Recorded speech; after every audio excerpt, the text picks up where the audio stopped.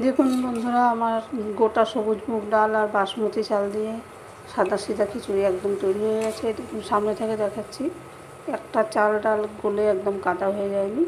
আমরা ইচ্ছে করে একটু এরকম রেখেছি, আপনারা চাইলে একদম ঝরঝরা ভুনি খিচুড়ির মতো করতে পারেন। বন্ধুরা, আজকে আমি খুব সাধারণ একটা খিচুড়ি বানাচ্ছি, সেই জন্য দেখুন, এখানে ঘি রেখেছি। এই হলুদ গুঁড়ো আছে, থেতো করা আদা আছে।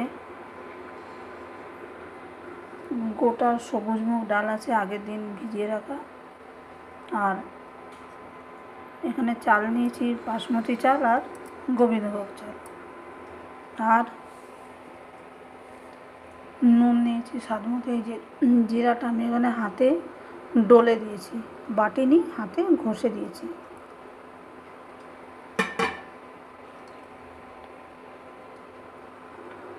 আর একটু হিং দেবো দেখুন। হিংটা লাগবে আগে দিতে। আর একটু গুড় দেব চিনির পরিবর্তে। গুড়টা আমি পরে করব। এবার এগুলোকে আমি সব ভালো করে মিশিয়ে ম্যারিনেট করে কিছুক্ষণ রেখে দেবো। দেখুন বন্ধুরা, আমি গোবিন্দভোগ চাল একটু নিয়েছি, একটু বাসমতি চাল নিয়েছি যে সরু যেটা ফ্রায়েড রাইস বানায়।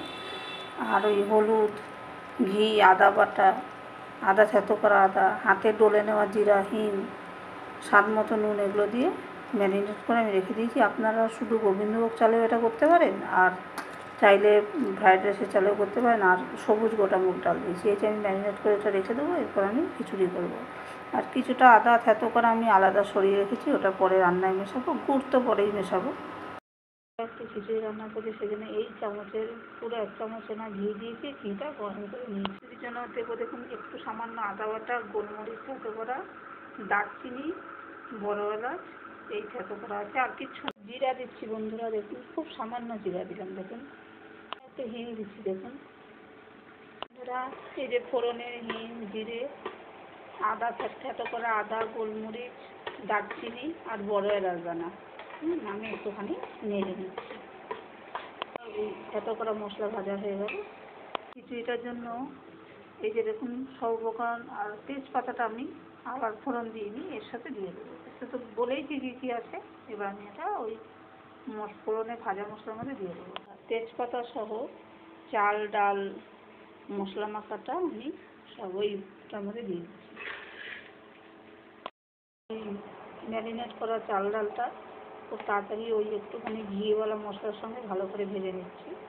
আর আলু ফালু কোনো সবজি দিচ্ছি না, এতেই খুব সুস্বাদু লাগে খিচুড়িটা আমি এক কাপ মতো চাল, এক কৌটো চাল আর হাফ কৌটো ডাল নিয়েছিলাম। ওই হিসাবে আমি জল দিয়ে দিচ্ছি ওর ডবল। আর দিচ্ছি আমি বেশি পাতলা রাখব না খিচুড়িটা। এবার আপনারা কে কীভাবে খিচুড়িটা কত পাতলা, শুকনো রাখবেন, আপনারা সেই বুঝে জল দেবেন। আমার মনে হলো সবুজ মুগ ডালটা, গোটা মুগ ডালটা একটু শক্ত আছে। যেহেতু আজকে সকালে ভিজিয়েছি, কালকে খিচুড়ি করার প্ল্যান ছিল না তাই। সেহেতু আমি আর একটু জল এখানে মিশিয়ে দিচ্ছি আপনারা এই খিচুড়ি তৈরি করলে মনে করে আগের দিন চার ডালটা ভেজে যাবে বন্ধুরা, আমার খিচুড়ি, দেখুন কীরকম সুন্দর ফুটতে শুরু হয়েছে। প্রায় অনেকটা সেদ্ধ হয়ে গেছে। আমি জল প্রয়োজন অনুসারে একটু কম করব। আর একটুখানি গুড় দেবো আমি। সামান্য গুড় দিয়ে আমি বন্ধ করে দেবো। আজ হয়ে যাবে আর কি। একটু কাঁচা তেল, ডালটা তাড়াতাড়ি সেদ্ধ হয়ে গেলে, যেহেতু ডালটা আমি আজকে সকালে ভিজিয়েছি, গোটা মুগ ডালটা, গোটা সবুজ মুগ, তাই খিচুড়িতে গুড় মেশাচ্ছি। আমাদের একটু এই একটু মিষ্টি মিষ্টি ভালো লাগে, চিনির পরিবর্তে আমি গুড় মেশাচ্ছি। খিচুড়ি যে বানাচ্ছি, জলটা চালে চালে একদম সমান মিশে গেছে।